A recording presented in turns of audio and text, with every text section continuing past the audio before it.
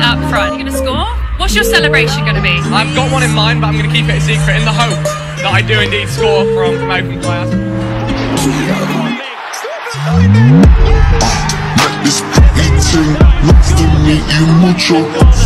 play.